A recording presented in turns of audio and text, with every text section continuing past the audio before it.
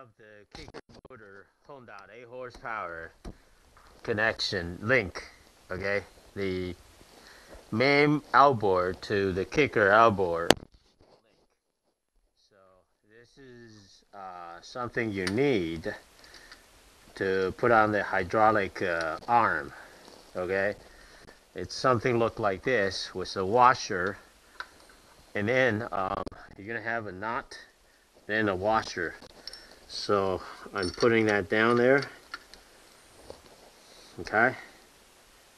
And then try to uh, lock it with a wrench. So, oops, washer dropped. So gotta put it in. Okay, so that's what I'm doing here.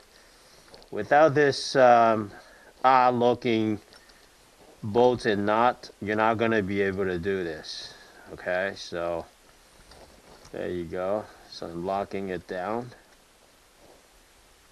Okay so I'm going to use tool to lock it down. So that's what this is okay? Anyway so let me get to it. Get to it.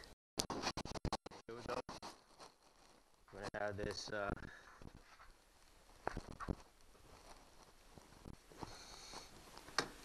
this bar to connect between the kicker motor and the main motor.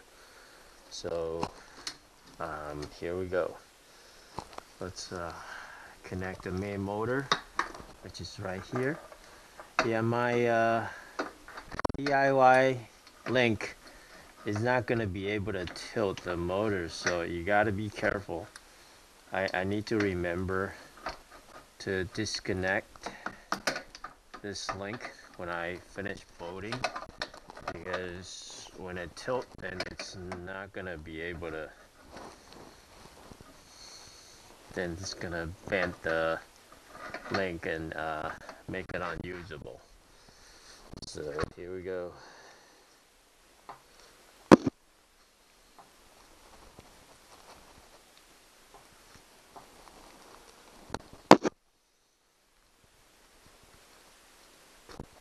Okay.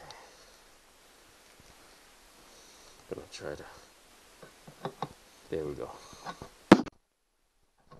Okay, there we go. So that one is locked. This one is not quite. We're gonna try to see what's going on.